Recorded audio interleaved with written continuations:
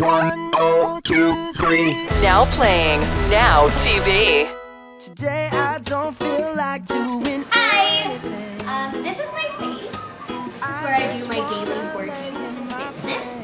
Um, this is all stuff that has nothing to do with me, so I just let people do stuff like the papers.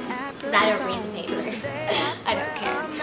Um, these are all my little sticky notes that everybody leaves for me Like this one that dear Rachel left saying, Dear Taz, I'm getting strawberries at your desk. See?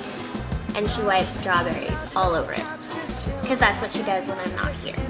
Um, this is my collection of pens and highlighters, different colors.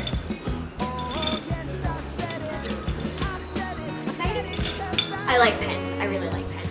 And everybody steals my the phone where I do all my lovely yammering to all the people that call in every day.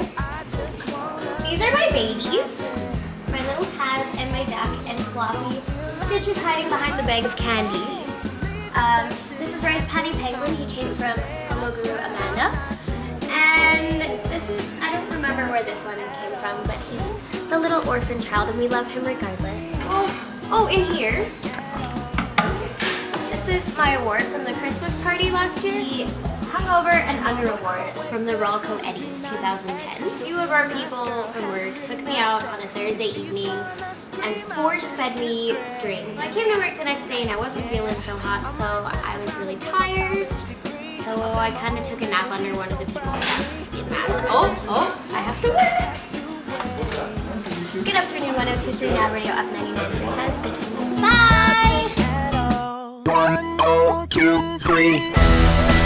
Thanks for watching Now TV.